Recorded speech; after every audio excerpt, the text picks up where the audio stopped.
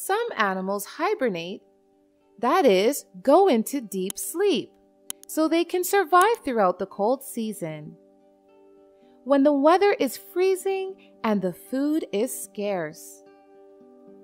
Hibernation truly is a clever survival mechanism. Now let's see some animals that can hibernate. Wood frogs, common poorwills, ground squirrels, hamsters, bats, bears, garter snakes, and snails are some animals that hibernate.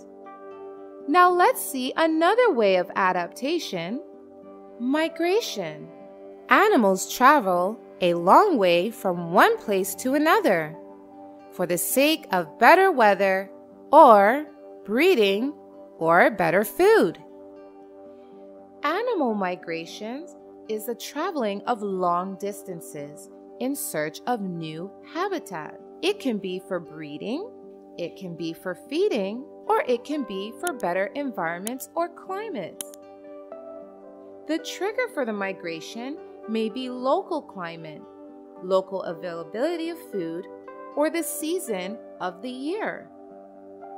Bird migration is regular seasonal journeys undertaken by many species of birds. Bird movement include those made in response to changes in food availability, habitat, or weather. Thank you so much for watching. Don't forget to like, comment, and share this video. And if you want to see more fun videos, you can hit that subscribe button. You can also follow us on Facebook and Instagram for more content. Bye-bye!